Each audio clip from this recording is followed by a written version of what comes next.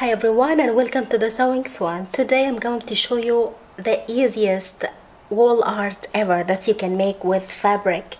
If you haven't subscribed to my channel yet, please do so you can watch the previous and the coming tutorials and make sure that you hit the bell icon so you get notified every single time I upload a video and let's go.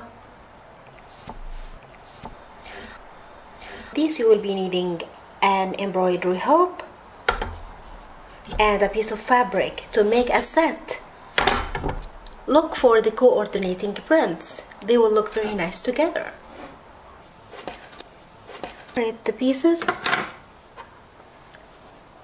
Get the inner piece and place the fabric on it.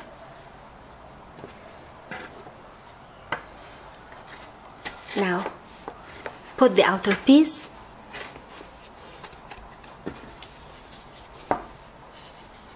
and secure.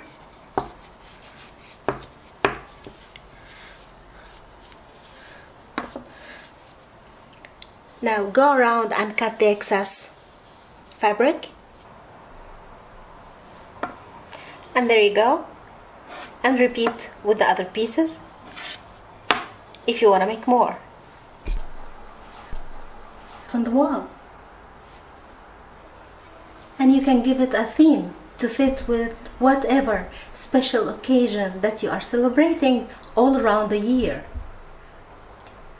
You can use a pair of old jeans or unwanted jeans